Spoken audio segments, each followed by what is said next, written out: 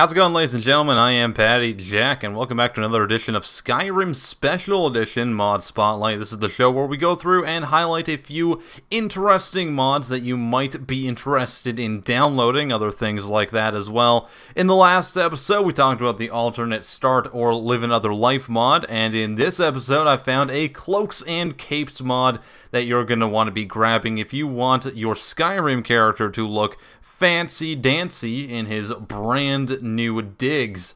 And yes, indeed, you can do that. Now, this is a very simple mod. It's available right now over on the Skyrim mod page by Bethesda. It's not available on the Nexus right now, as far as I'm aware. So if you want it, you're going to have to go download it from the store page itself.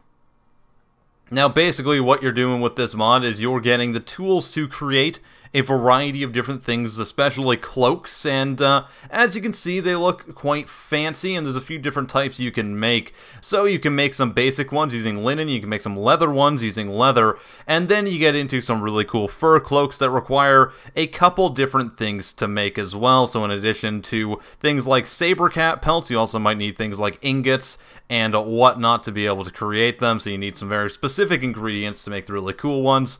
So what do you do? Basically, you just download the mod over on the store page, as I've already done here, and then we'll load into a game, and I'll show you exactly what the deal with them is. And we'll just load into this one, why not? I believe that's the one that I was setting up to do this with. Those kids glow a lot in the loading screens, don't they? Nonetheless, welcome to Whiterun, and we're going to be showing you exactly how to make some cloaks today.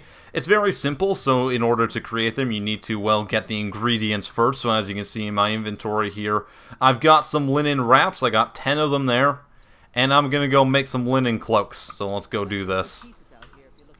All you have to do is go over to the tanning rack, and under the hide section, you'll see all these different cloaks that you can create in different colors. So we're going to make a purple cloak, why not? We'll make a red one as well, a black one, and a blue one, and a yellow one. Why not?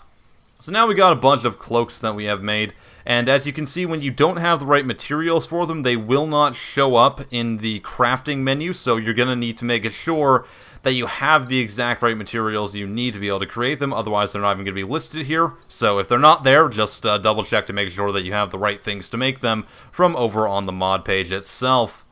And now that we've created them, all we have to do is go over away from Adriana, because she will be extremely irritating and spout nonsense at, at us constantly. So let's go ahead and just equip some cloaks here.